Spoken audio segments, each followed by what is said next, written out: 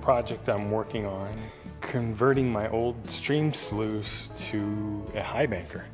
And I went and bought a piece of uh, 6061 aircraft aluminum and already bent it for the preliminary box. As you see, it's gonna sit right here, something like that. I'm gonna go ahead and bend these tabs here, bend everything straight up so I can mount it. Just finished bending up those tabs. Just kind of give you a better idea what it's gonna look like. Just propped it up temporarily.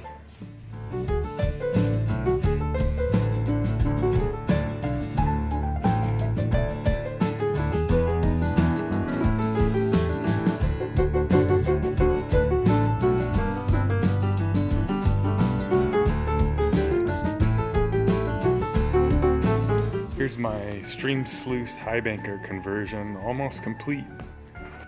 I cut out the center here, bought that expanded metal from Home Depot, and used the plate I cut out for the back here.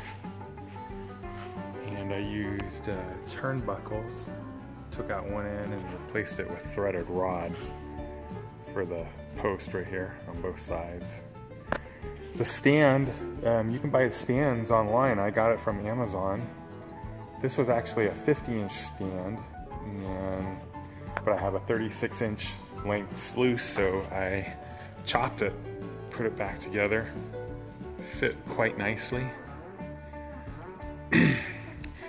All the little plumbing parts and everything, expanded metal, threaded rod, everything else I got from Home Depot.